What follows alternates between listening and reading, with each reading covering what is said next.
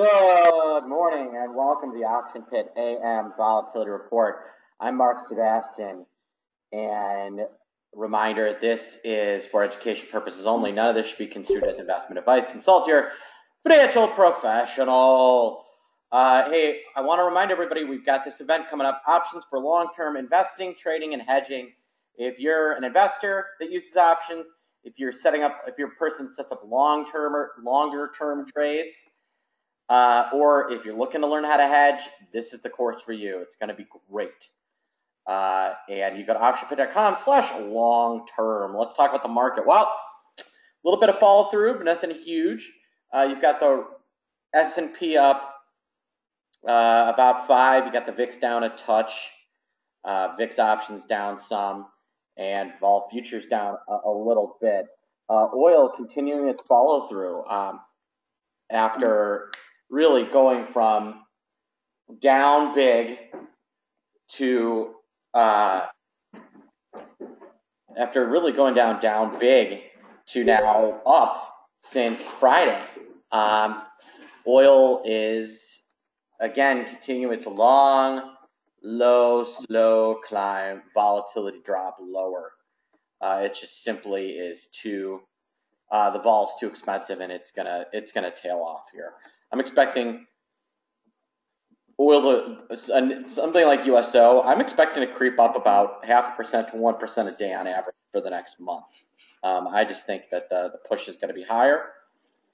Uh, you look at vol futures and volatility, you can see uh, UVXY, VXX, I'm expecting them to drop significantly lower over the time being. Uh, I think they could drop some. And uh, you could see uh, vol futures, you know, we certainly UVXY could be getting ready for a reverse split sometime in the next month or so. There's a real, real opportunity for that. Um, then as I review kind of everything else out there. Uh, transpos continue to be higher, Fight oil. Uh, Apple continues to be soft. You can see a lot of money that was flowing in there uh, kind of popped out a little bit. And there's news on when people are rolling over their phones and just all sorts of stuff that's not great for them. And really, all the tech names are off a little bit, Facebook included.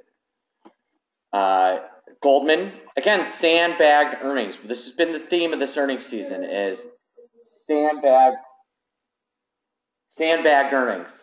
Um, you know, Goldman is up nicely after reporting disappointing earnings. JP Morgan up nicely after reporting disappointing earnings. Uh, Morgan Stanley, you name it. Wells Fargo, they're all up on quote unquote disappointing earnings. Well, this is because everybody was ready for even worse. When you sandbag earnings hard enough, uh, stocks can recover, and that's what we're seeing out of the financials. Uh, where are we seeing a little softness? We'll take a look at Netflix. They uh, they are not having their best day now. The straddle was expecting like a 13 or 14 dollar move. They're getting 11 right now. Move more overnight. Uh, and so Netflix, especially on the Amazon news and kind of disappointing earnings, not looking so hot. But uh, the financials continue to be big leaders uh, and continue to be ones that I like. Even the XLF ETF, which has its uh, its not so awesomeness, if you look, has had a nice little run since I went on. Uh, you know, since we chatted on uh, the 31st, it's up nicely to here. See a nice move, and, and really all the names are. Uh, so on the day, I think you're going to see more yesterday, just kind of the slow crawl lower, and the S&P slowly crawling higher. Uh, it's now above that 2100 level that we were kind of watching out for. And that's going to be, I think, the way things trade for the time being. Is, is you know we may have slowness all the way up to 2130, 2135 as, as the S&P potentially breaks records. All right, folks, if you have questions, you can email me, mark at optionpit.com. You can call me 888-TRADE-01. Have a good one.